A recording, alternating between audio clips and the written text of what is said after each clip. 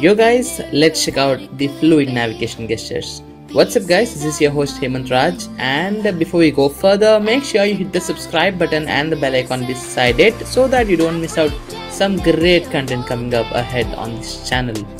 So with that being said, let's jump right into the video.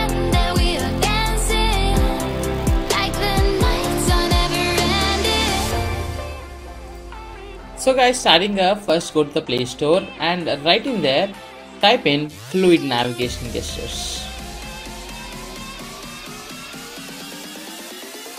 So this is the app, simply go ahead and install it.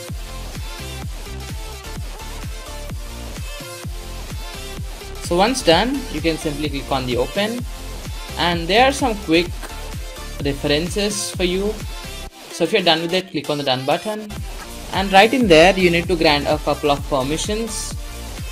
So simply grant them like display over the apps and accessibility permissions and other permissions.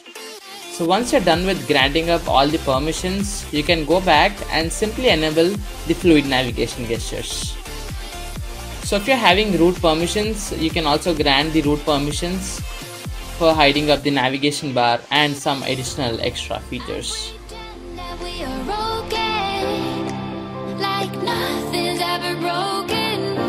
And I pretend that we are dancing like So you need to get used to it for a couple of times so that you exactly know when to swipe and what is the time duration that is required to activate the fluid navigation gesture.